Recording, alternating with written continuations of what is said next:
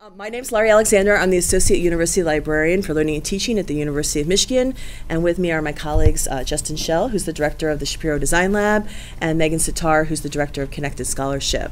And we're here today to talk about our recent partnership with uh, the University of Michigan School of Information. And that partnership resulted in a collaboration around an IMLS grant called Libraries Research Lab Immersive Research Education and Engagement for LIS Students and Library Professionals.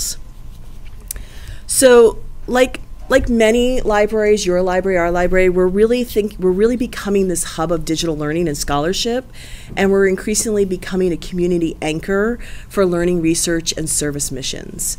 And we recognize the need in some cases to develop and in some cases to deepen our, our own research skills uh, to include systematic collection of evidence, data analysis, and interpretation. And this has become really important as we think about where scholarship is going, how our services are changing in response to that, what new services that we're developing. So, in discussion with our SI partners, we really started to re focus around this question of how do we realize collaborative and learning focused models to increase student engagement in critical research questions facing libraries. And we spent a lot of time working through this question and different possibilities around that. And the result was uh, an IMLS proposal where we would intentionally create dynamic research teams that included SI faculty librarians, and graduate students. And the idea was to build structure and research methods to further apply design thinking for our library services.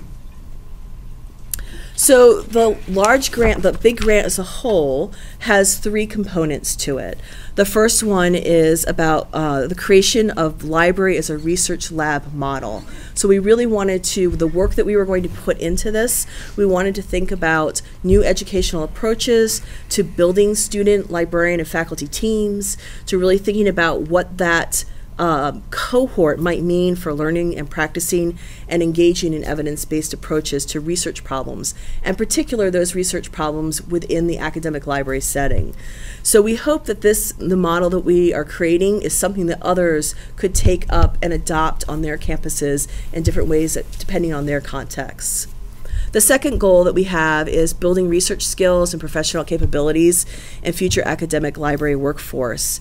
So what this grant is really trying to get at is um, building education opportunities for future librarians and current librarians, and really thinking again about that application of research into our service development. And the last uh, goal of the IMLS grant is fostering and enhancing mentoring capabilities in the profession.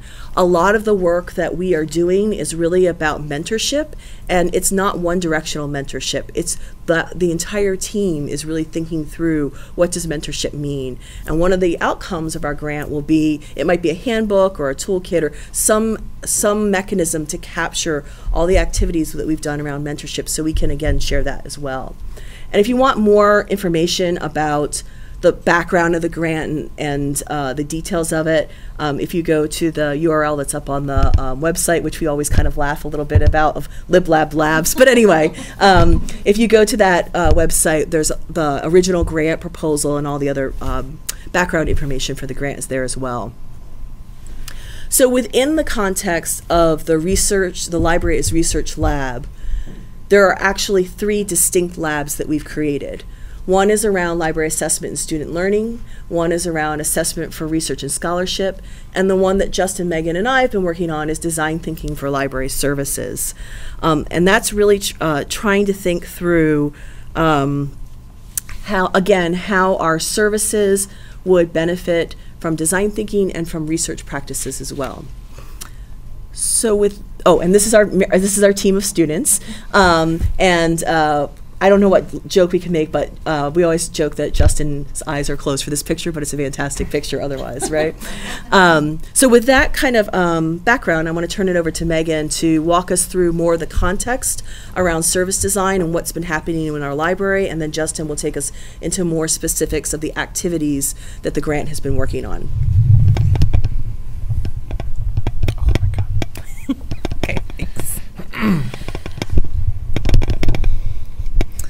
Um, so the beginning of the lab coincided with work we were doing um, centrally within the library around service design as a whole. Um, we had engaged with Brightspot Strategy um, consultants who helped us develop a playbook to determine some ideas we could um, deploy in our services and spaces. So the playbook itself had concepts at kind of a high level that were responding to the research that Brightspot did on our campus. Um, but the idea was that each of these plays would really require additional deep dives of research and another cycle of design to develop pilots and prototypes that would allow us to um, actually assess the ideas um, that were built into those. Um, I was part of what was called the Service Design Task Force. Um, three of us, my colleagues, colleagues Rachel Vacek and Emily Puckett Rodgers, um, were part of that group as well. And we actually presented on that work at um, the 2018 fall CNI presentation. And I realized I didn't put the link in this, but we'll make sure it's there um, to make it easier if you want to go back and learn about what we were actually doing and our capacity leading those efforts. But because of the alignment time wise and um, mission wise with the lab, we were able to make it a node in the network of those service design efforts. So it wasn't something that was happening separate within the library, it was really part of a constellation of activities um, that were all um, focused on different service design efforts. And so the question why design thinking um, for library services comes up. And really, we were looking for new ways of seeking solutions um, and opening up opportunities within the organization.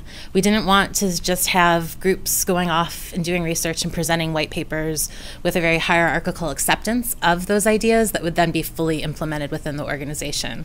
We really wanted to see us testing out smaller facets of ideas, engaging with users in the process of iteration, um, and be coming up with ways to really be dynamic in the creation of services and spaces and not getting locked into solutions.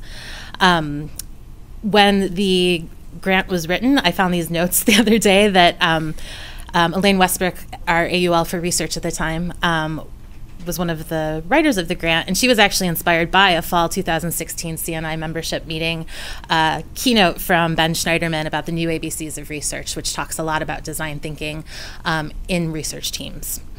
So we saw this as an opportunity for the students, for the organization, and then a whole bunch of mutual benefits to enter into this work as part of that broader service design effort. For the students, they'd see their work in the grant connected to that large networked idea within the organization, which we thought would help them going into the profession to see how solutions um, are or are not implemented in a large organization. They were going to have lots of opportunities to present their ideas back within the structure of that larger project and gain feedback from across the organization while building their professional network. So they were encouraged to participate in brown bags, um, give updates about the progress of their research, and we also brought people into our meetings, which we'll talk more about, um, who could provide feedback on different aspects of a service that they were talking about.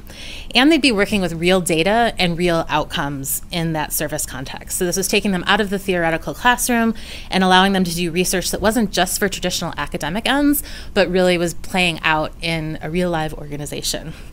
For us, it extended our capacity to respond to those Brightspot recommendations by taking um, ideas that were there that we knew we couldn't act on right away with our staff, um, but that we could put into the lab for some um, additional work. Um, it also brought fresh perspectives um, and critical reflection to our service design efforts, um, which has continued to really benefit all of that work um, since the students are engaging with um, new ideas all the time and we're working in the same organization. So that, that helps a lot. And then the benefits for both were definitely that mentoring experience. Um, and the mentoring experience kind of brought in the student perspective of the changing role of the library and the challenges of designing services for a diverse campus community. Um, and Justin will talk more about a project that really focused on that. So the structure of the lab, um, as Laurie said, there's the three of us.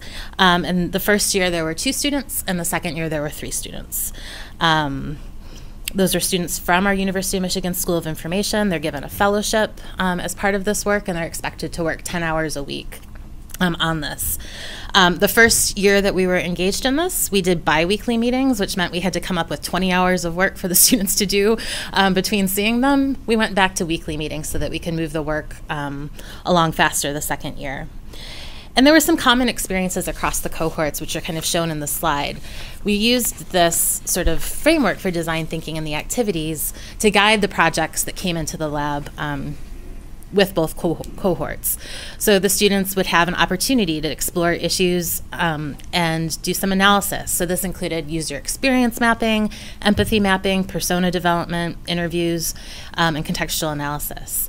They got to do creative things that they didn't expect they were going to be able to do um, in terms of generating and exploring ideas, such as sketching and storytelling and then the synthesis of those ideas into actual pilots and prototyping activities that we would put out into the organization to test the concepts. Um, at the end of each cohort's time in the lab, they did a there was a symposium across the lab, so they did a poster um, presenting their work. And there was a monthly hands on meeting across those three labs that Laurie talked about, where the students shared out progress on the work that they were doing, as well as um, having either a guest speaker or one of the um, librarians in the lab talk about a fundamental research concept.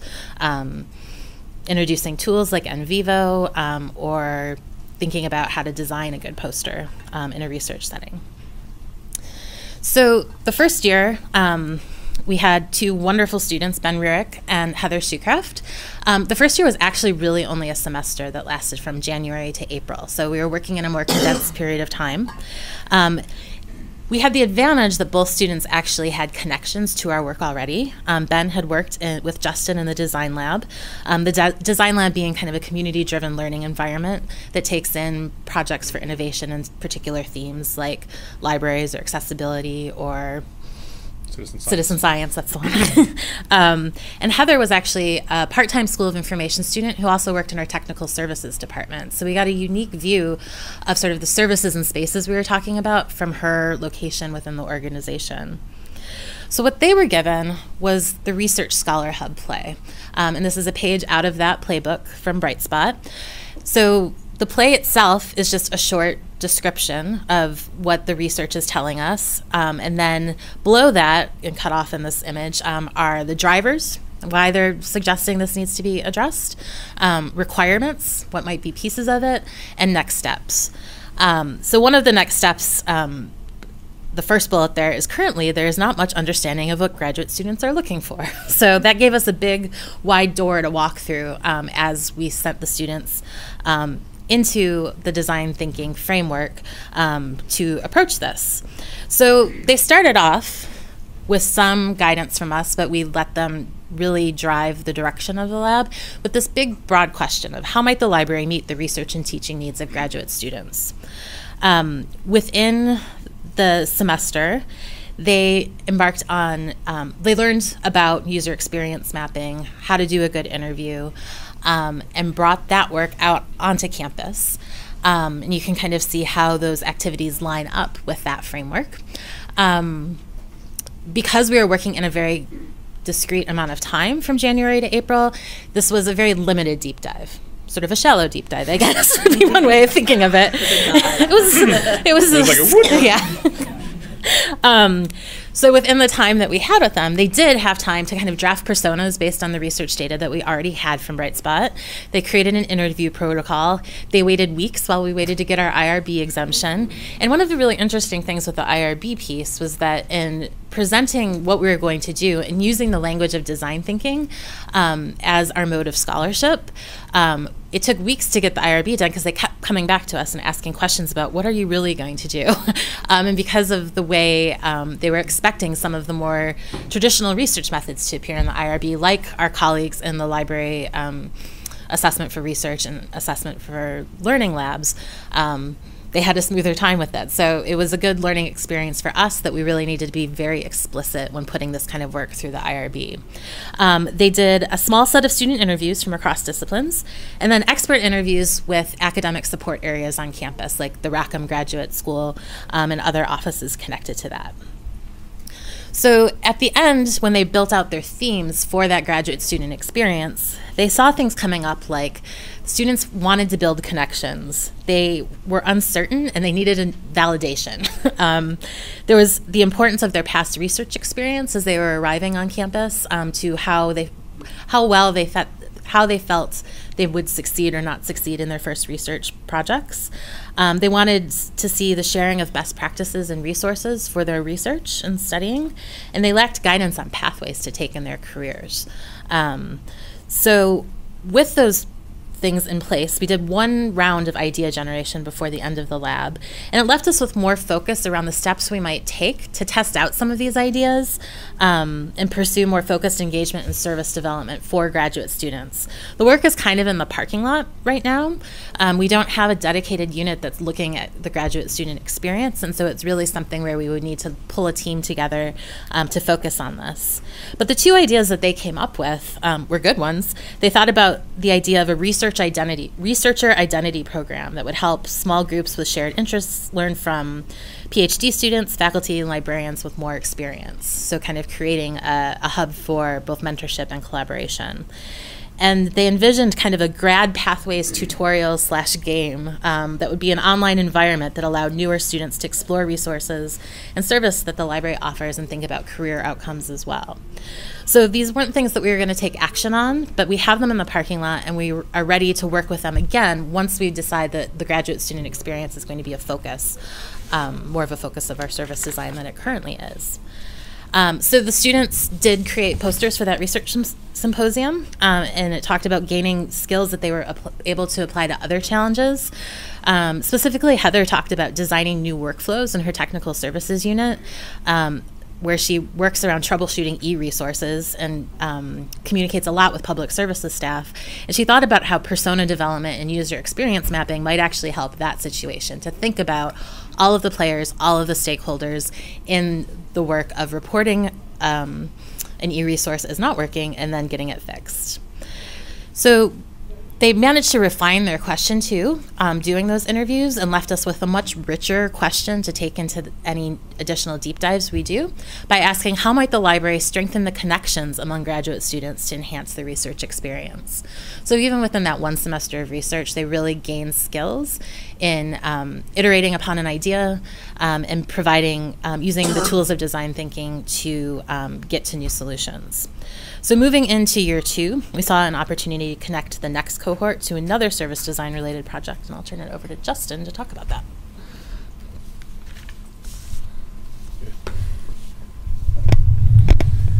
I'm the audio nerd. I run the audio studio in the lab as well as do podcasts, so I'm making sure everything is okay.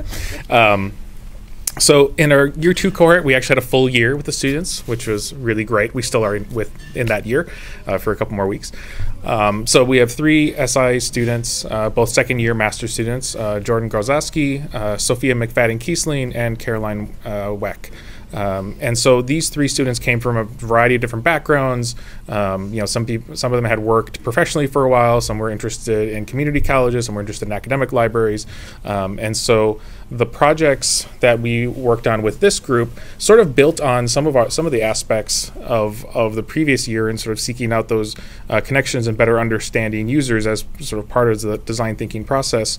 Um, and what it really we really focused on was partnering with another project, which um, was this library lifecycle project, which uh, we'll talk more about in a second. But if you've done any sort of uh, persona work or things like that uh, in an academic library or an academic institution, you usually see the sort of undergraduate, graduate, and faculty sort of breakdown. These are the three communities that you know conventional personas are developed around.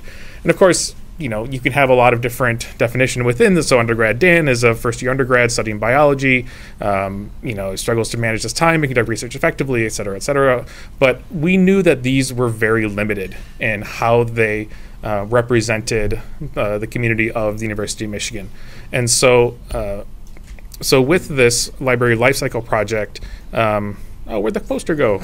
oh, it, it was. No. There's a beautiful poster. There's a beautiful poster that is entitled "The Tragedy of Faculty Frank," um, and and how uh, and how this this project came about was doing I think 35 or 40 interviews with different people that were um, you know had a variety of different backgrounds and being able to better understand this broader uh, community of users and just community generally uh, that use the library um, and are, that are on campus. And so, as we're thinking about uh, designing services as part of the service design task force, um, who would we be leaving out uh, when we start thinking of this. Um, in a, if we're thinking of this in a more traditional way, when we have those sort of three personas, um, sometimes it's just student. You know, so maybe you don't even differentiate between uh, graduate and, and, undergraduate student. Um, And so uh, the, the, the three students, Jordan, Caroline, and Sophia, sort of picked up the sort of lo-fi prototype that the library lifecycle project developed, which was a sort of game exercise. We ended up calling it a gum exercise because we couldn't really f- there. Each each iteration of user testing, people found a problem with either calling it a game or an exercise, and so I think we ended on exercise because there was less uh, uh, less objection to it.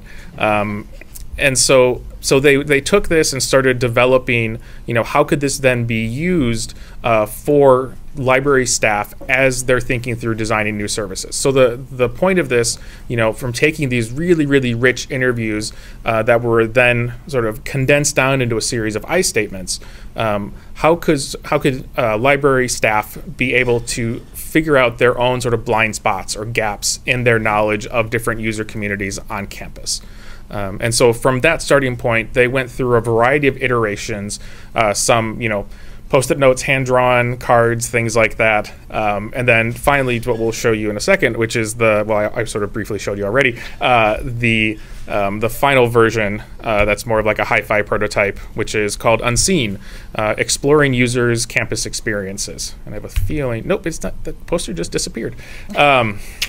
So it goes. Uh, so we had a variety of different cards. Uh, one of the inspirations for the original library lifecycle group was this uh, VA uh, project that would give people these sort of stacked identity characteristics. Um, and so, like, I'm a veteran. I'm, you know, I have uh, I have a disability. I have, you know, low income or things like that. And you could sort of move these different characteristics around and create these different personas um, that would result in sort of different levels of thinking required to how best to support them. And so, from taking these I statements and take and then sort of moving them into these sort of cards that you could you would get a number of cards as you're sort of going through the exercise, and this would allow you to sort of not necessarily like put yourself in their shoes, but be able to think about okay, well, what elements of this am I not thinking about in the service that I'm designing? Um, and so we have a variety of cards here, uh, these sort of identity-based cards, uh, beyond you know sort of race, gender, sexuality, to include health and ability and disability, financial status, uh, sort of why I came to the U of M, study style, things like that, to really capture uh, that fuller picture, that more holistic picture of the the student. We were primarily focused on undergraduate students at this point, but we could see this being uh, broad, more broadly applicable applicable to other students beyond uh, the undergraduate community. So. The way that, just to hear some examples, uh, so there are, I think, ranging from seven to ten or so cards uh, for each topic. And so one of them is health. So I have a chronic health condition which requires regular attention to manage. Um, so there's both a sort of a, uh, character aspect that you have, but then also some things to think about that sort of prompt, uh, you know, your own thoughts. But then, because this is is uh, gone through as a group, this also can spark some conversation beyond just you sort of reflecting on this in a, in a sort of a single solitary environment. So, um, if I have this condition, you know, what do I have to prioritize? Do you have access to the healthcare things you need? Does this require time away from class? Um, and so this is sort of taking a step back from, and this is something that we went through a lot, was when do we actually start bringing the library into this? Um, at what point do they, okay, well, do we need to think about how they get access to articles as part of this or is this just figuring out okay the you know these folks are part of this community and just better understanding this as a first step and then going forward to the library services element um, so i'm a minority, minority race uh, race is an important part of your identity. Do you feel privileged? Do you encounter prejudice or stereotypes on campus due to your race? Um, there's also, you know, why I came to the University of Michigan. Uh, for a lot of folks, it's because they had someone in their family come to it, come to the university. Um, you know, I'm non-binary, so things to think about with this uh, some previous schooling. You know, some some of these cards. Um, you know, I did not go to a very rigorous uh, high school, and that would change how they think about studying. And you know, and one of the you know, one of the scenarios they're they're really struggling because they haven't had to work as hard.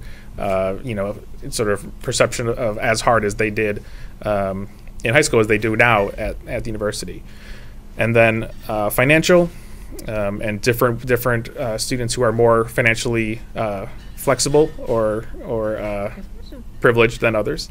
Um, and so all of these cards that are passed out to participants, um, you are also given a uh, two two game pieces, which we 3D printed in the design lab. Um, they're little sorry pieces, and and so at each each stage of this, you're you're supposed to mark in two places. One as how seen you you feel on campus, um, as well as how safe you feel on campus. And so you can you start this from a more general perspective, from you having you know this sort of this identity. Um, and I should say one of the big questions around calling this a game was making a game out of people's identities, and that's something that we struggle with, and it was something that we brought up early on. Um, we worked with a variety of user groups, including our Libra- Library Diversity Council, um, and again, we sort of got mixed uh, kinds of results and feedback from that but ultimately we chose not to call this a game. Even and, and but w- one of the interesting things was uh, some people wanted it wanted it to be if it's a game like they wanted to win somehow. It's like no no no we don't. You, shout out to Kath, Kath, Kathleen's talk like we don't all need to win or like we all win we all do better when we all do better you know come on, um, and so so as as they're sort of going through this they are given sort of these two cards. One is a personal event card, so something happens to you. This could be a change in health, it could be a change in, in finance, uh, or something like that. And then you have to adjust your position on the board uh, because of that. Um, and then the other one is like a, a campus event. So uh, hateful graffiti, graffiti on campus. I really like that it just says content. Um, it's you know uh, the formalists are, are really upset. Um, and the other ones, it's like you know Michigan wins a, a, national championship or something like that. Shout out to the gymnastics team that just did that, I think. Um, and and so at each of those points, then you sort of move this piece, um, you know, around the board. Uh, sort of, you know, do you feel seen? Do you not feel seen? Do you feel safe? Do you not feel safe? And all of this is an invitation towards the conversation and the reflection within that group.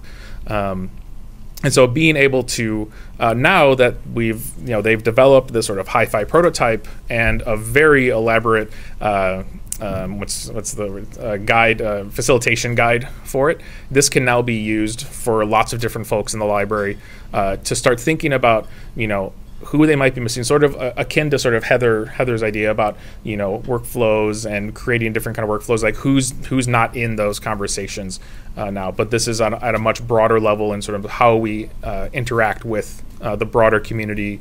Um, you know, not just on campus, but I think more broadly than uh, you know than in Ann Arbor in Southeast Michigan and and beyond. Um, so you, you breathed like you were Oh, getting ready no, to say sorry. something. um, and so we wanted to, as we've sort of gone through this, uh, we wanted to to make sure that uh, some of the students' voices that were part of this as well, um, because you know, we, Laurie mentioned earlier that mentoring was a big part of this, and you know, we had lots of sessions of just like, tell me about your career, like how did you get to where you are? Again, this sort of informal thing that's not like, okay, you need to do this to be a good graduate student, you need to do this to get a job, and some of that extended to, you know, what should I eat at an interview dinner? Like, what's a good interview dinner? Like, okay, cool. Like, here's the thing: do I drink? Do I not drink? Like, okay, well, let's, you know, and sort of some of that more practical advice, but it was also a lot of, you know.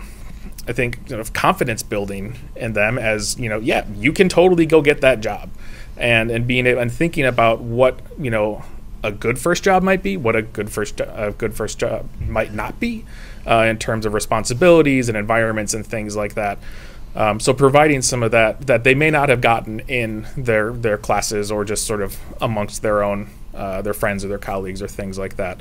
Um, and so. Uh, cool.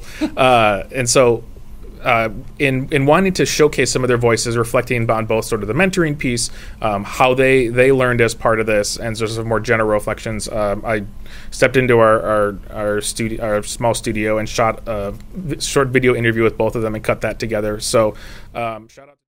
This whole process has been really good for me personally, um, just from starting out in our lab specifically. Um, I was kind of wowed with the three mentor librarians that we had um, because they had so much knowledge and they brought so much information and skill to the table. And I felt like, oh crap, Uh, I don't know if I'm ever going to be able to do that. But along the way, I've kind of learned and watched what they've done and how they've sort of tackled the problems that we've uh, come into. Um, and I feel like it's given me a lot of tools for my big career toolkit, I guess I would say. my library toolkit has a lot of the stuff that I've learned in the SI program. So, how to answer reference questions, um, how to do good research, um, how to build a website in Drupal, um, that sort of stuff. But then from this experience, I've learned the design thinking process. So I've now added that into my like my big library toolkit. Um, that's something I can take with me on out of here. And then also just um, learning how to not be attached to your ideas, which I think is part of the design process. But I think this lab did a really good job of actually doing that. Um, where it got to the point throughout the process where I don't remember which ideas were mine and which were my collaborators because I just feel like we all have ownership in this, but we all also weren't attached to it in a way that was toxic. I've learned about the thought process for coming up with library programming, coming up with ideas of how to add to that larger design goal, that larger goal of creating a new culture for the library is very interesting trying to come up with games and exercises for that. I've never I've never tried to create a tangible tool for helping people get to a goal of compassion and empathy before. So I think that was really unique about this position. This experience has been a really cool way to uh, get to be creative, which is something that I feel like um, creativity is kind of missing from a lot of our our courses where you know you have a project and you you um, are just kind of following the steps that have been outlined and you're you're working towards a rubric and so this sort of real world experience was a really cool way for us to determine what are the deliverables and how are we going to get there um, and do hands-on project management in a way that worked for our team and allowed us to exert some sort of creative expression over it. I really appreciated just the opportunity to grow and actually have an opinion. Being a graduate student and so not having really that much experience in libraries, but being able to be part of the conversation for future library design was really empowering. I think that that is not always granted to students, and so I really appreciated the respect and being told like this is a non-hierarchical environment we're working in, where everyone is able to share their ideas and have their ideas discussed and have sort of go through the process of having ideas accepted and moving on to a prototyping stage, and then having learning how to be okay with just like letting go of your idea too, because it's going to develop and change as you go. And I think that's a really important skill that not everyone is able to learn at the beginning of their career because they're not able to have an idea also at the beginning of their career too, which is very beneficial and I've just gotten a lot of like self confidence out of this whole experience. Just seeing like, okay, you can start from not knowing anything, and then along the way you can learn a lot, and then just as long as you're learning and holding on to that knowledge that you're picking up along the way.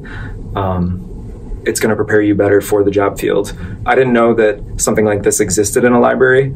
I thought I was going to be looking at reference librarian positions and just how to best answer library questions and how to best find information for people but I think because of this experience, I've started to look more at um, design in libraries and more of service in libraries and how I can have an impact there, how I can help um, overhaul services and design better for users, essentially. So, user experience in libraries um, is kind of what I've learned through this whole process that that exists, that I like it, um, and that it is sort of an emerging field that I feel like I'm much more prepared for now. The Library as Research Lab project gave me kind of a behind the curtain view of um, what this process really looks like in a in an academic library. I think my classes are really good at you know theoretically saying that oh, librarians are on a ton of committees and it's a very collaborative environment. Um, but going and working on this project in the library, I was really able to see that um, firsthand and was able to get a sense of, you know, what an innovative library's priorities are and how they're working together and collaborating. Um, and so that's been really good as I go on interviews because I've been able to. I think ask more impressive questions and really um, interview the place that I'm interviewing at in a more informed way. Um, I'm able to, you know, ask what committees I would be on and what this library is doing in terms of um, initiatives that I've become aware of and been really excited to work on through this program. Yeah, I mean, this was a great experience. I loved it. It changed my career outlook of kind of what I want to do. So I'm still searching for the right job. So hire me. We should say they're all on the market. and I, I, as I've now watched that too many times in cutting it together, um, the piece about um, letting go of your ideas should not be taken as a give us your ideas so we can use them and not credit you. Um, I could see how that is that could be interpreted that way, but um, they will are all creating posters. They have different presentations coming up on this, um, and so if you're interested in, in seeing more of their work. Um, once they create the posters, which I think they're doing this week, um, we're happy to send that to you. Um, so I think that about wraps. Oh yes, um, yeah, because we didn't we didn't see the the poster, but um, Denise Layton and Kat King and Shayla Garcia were three of our our librarians uh, who uh, uh, did that library as life cycle project. Um, and you know, created um, we just so many pieces of paper. You know, sort of uh, chopping up the interview statements and things like that, and, and really provided us a really great foundation uh, for you know this project to be as successful as it was. So I'm not sure where that poster went, but we can we can send out that as well. Um, um, I think that's so. Nothing else. I think you can check out that site, which I'm not going to read the URL because it makes me laugh every time. um, but we'd love to hear your questions, and thank you.